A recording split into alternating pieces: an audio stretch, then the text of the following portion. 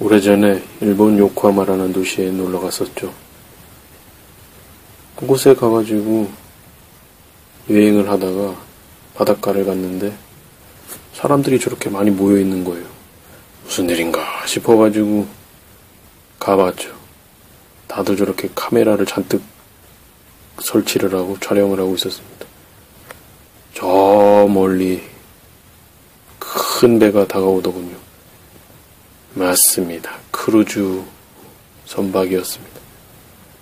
일본에서도 이렇게 크루즈 선박이 입항하는 곳은 흔치 않은 구경거리인가 보더군요. 이렇게 사람들이 많이 모여 있고.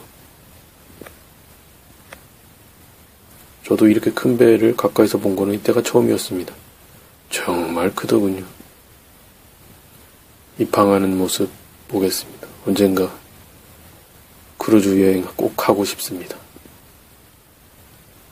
사람들 우리 구경하고 서로 밖에 있는 사람들 안에 있는 서로 서로 구경하는 아이들인데 서민 백성들 아니 프롤레타리아트 프롤레타리아트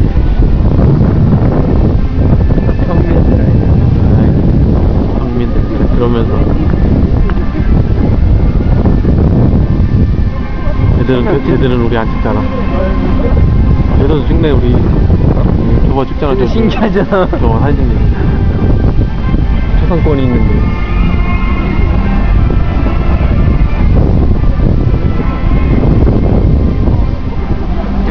잘하네.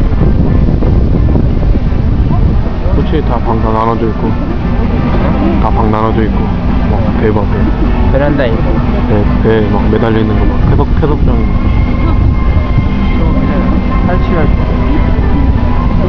저기 보면 저 꼭당 저기 보면 저 수영장 있잖아 수영장